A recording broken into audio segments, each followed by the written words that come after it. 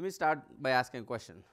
Do you know what is the total online US sales today? What does it attribute to? Any guesses in the audience? Total online US sales. Okay, no guess? It's about 20%. 20%. And the total online sales is only going to grow up to about 30% by the year 2030. You heard from John a lot about how retail and call centers and how his team is making a difference for customers coming into those stores uh, or those calling those call, call center channels. You know, despite all the digital hype, customers still love going to the stores. They still love, still call the call centers for complex products. In my household, I'll take an example of me. I do most of my shopping online, right? If I'm trying to buy my groceries, I'm on Sam's Club app or a Costco app trying to buy groceries. My wife, on the other hand, she loves going to the Costco. She loves going to every aisle. She has to stop in every aisle. I, I kid you not. We spend probably two hours just sitting in Costco, going through every product. And we make a grocery list. By the end of it, we look at our grocery list, and I come, come back home and I say, honey, this is the list that you wanted to buy, and this is what we bought. Look at this cart, right? People still love those experiences, right? I'm here today to talk about unified commerce and how businesses have to transform themselves in order to meet the customer demands in every channel. My name is Pavan Tammana, and I work for Consumer Technology Experience Organization. Both John and I, we work for the same org, and our mission statement is we deliver simplified and differentiated customer experiences advancing our technology. That's a mouthful, right? What it really means is we wanted to make shopping experiences and customers who want to do business with AT&T simple, right? Because think about Costco. You go to Costco, who likes to wait in a line for the cashier to ring your, your cart full of items while your kid is crying on one side? Nobody does, right? I'm a more, more of a self-checkout guy. Um, John talked a lot about call center experiences, right? Um, do, do you ever have that experience where you call, you, you get on a call, you're trying to get help, right away you press 1, starts with frustration that you're calling a call center. Second, you hear a hold music. Beep, beep, beep, beep, beep, beep, beep, beep, or you might hear some nice music. Finally, you get, you get frustrated and you say, agent, agent, agent, get to care, Z or you press zero, zero, zero, zero, zero, right? But for some, for some products and for some businesses, it's really important for them to operate in all, in all the channels, right? I'm going to talk about how businesses have to set up themselves to get, be successful. But before we go there, a little bit of background about myself. Um, I've graduated from India, came to US to do my master's in computer science, went to University of Alabama. Any any Crimson Tide folks here? Roll Tide? No? Man. All right. Uh, well, I got a couple of them, so that's good. Uh, started my career working as a software engineer. Used to write a lot of Java code. Um, then I moved on to becoming a senior engineer, lead. I played an architect uh, for a couple of years. Um, and then I moved to uh, Best Buy, I took a leadership role in Best Buy, um, really was part of their digital transformation journey um, through the years. And then finally I joined AT&T was six years ago. Um, when I started, it started with just transforming digital, AT&T.com, and the mobile app that AT&T had.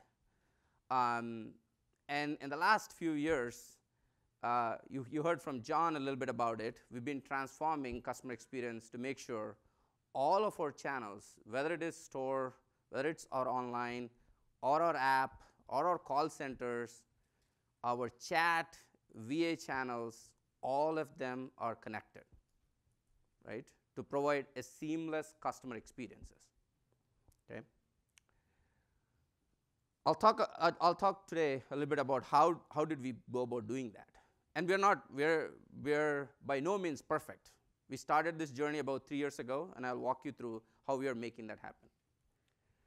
Before we go there, just a deep dive into the history. How did e-commerce start, right? Back in the 80s, e-commerce was simple. You walk into a store, it was just stores, you get what you want, you pay, you get out, right? Other than people like my wife, she loves to go every aisle, right? Keeping that aside. Then came 90s, right? With web and internet being very prevalent, people started shopping online. You've, you've, you've got companies like Amazon and eBay who started their digital stores.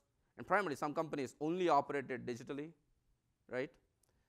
And all businesses started evolving, uh, building a website of their own, um, modifying what they had for years and years, their brick and mortar stores, into and building a retail front so people can come in and order online. Then you move into you know 2000s where everybody started since we had online you had to have call center to support for issues that people faced online. Then came the mobile revolution in 2010s, right? iPhone came, businesses started quickly evolving themselves and building an app. There's an app for this, there's an app for that, right? But what you saw over the years was businesses still haven't evolved to connect the journeys across all these channels. I'll tell you a quick story. This was Thanksgiving. I bought a new pair of sneakers. I looked at it online, I, got it home. I looked at the color. When I got it home, the color was not to my, my, my liking. So we were all, as a family, going to the shopping mall next, you know, a couple days after. I said, okay, I'm not going to return, return my shoes. I'm going to go to the store. I went to the store and I said, okay, I would like to return these and get a different pair. I was said, sorry, sir, we can't take your shoes. You would have to return it back via online. As a customer, I'm sure some of you probably face these experiences for different products.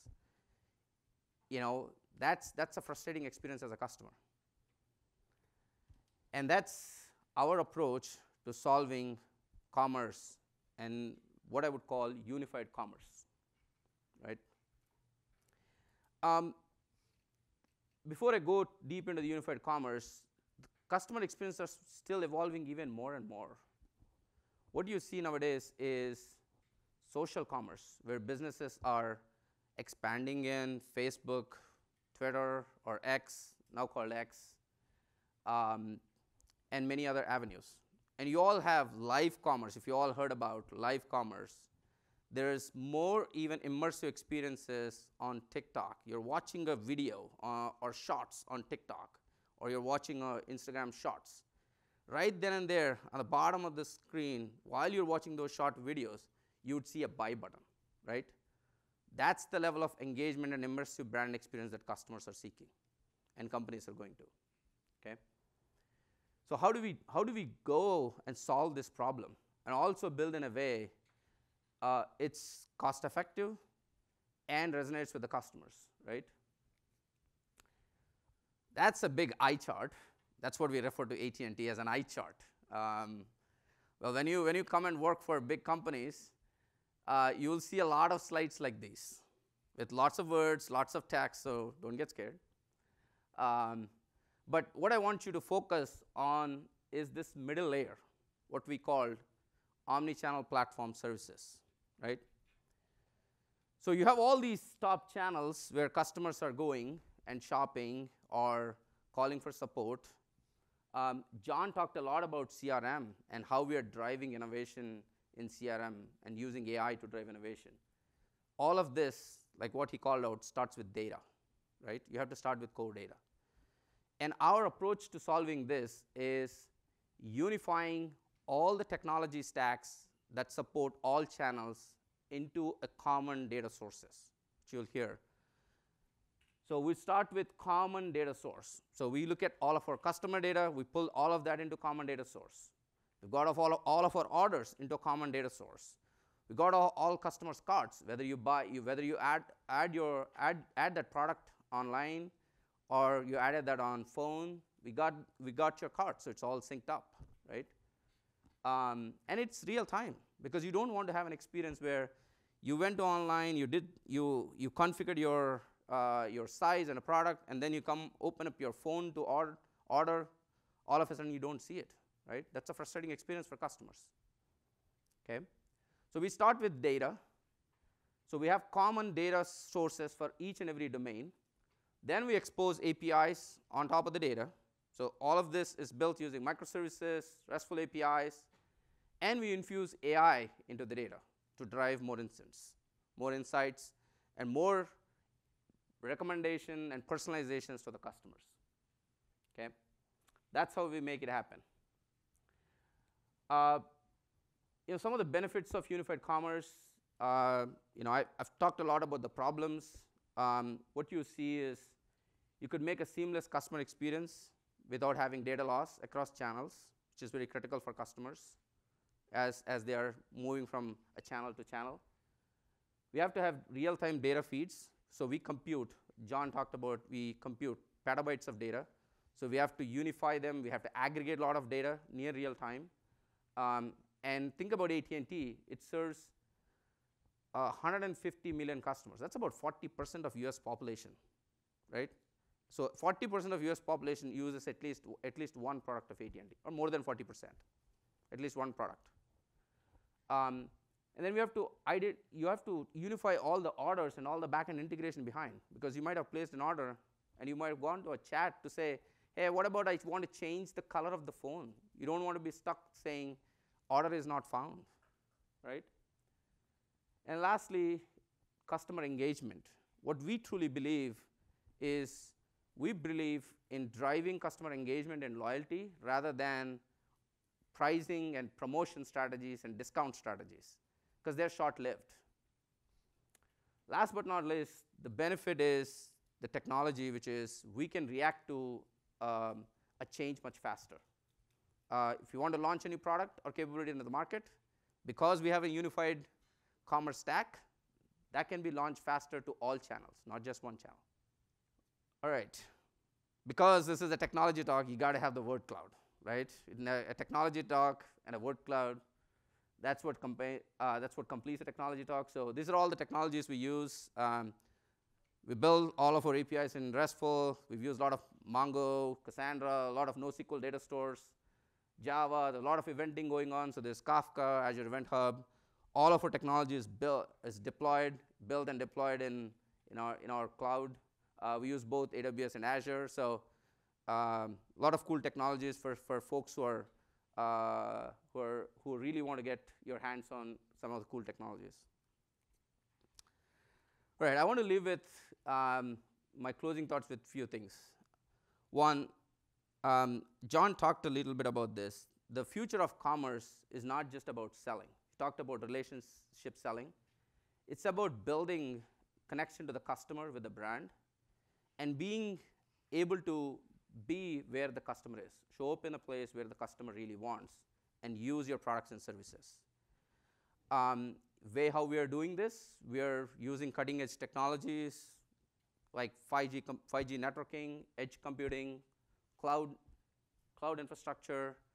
We are using those technologies to build hyper personalization and more relevant customer experiences. Okay? for all of you as students and professionals, I think uh, it's really exciting time to be and be working in AT&T. Um, whether you want to solve a complex problem, uh, you want to learn some cool tech, or maybe break something along the way, but you still learn while, while you're breaking and fixing them, we'd love to have you in AT&T and be part of this unified commerce journey. Thank you.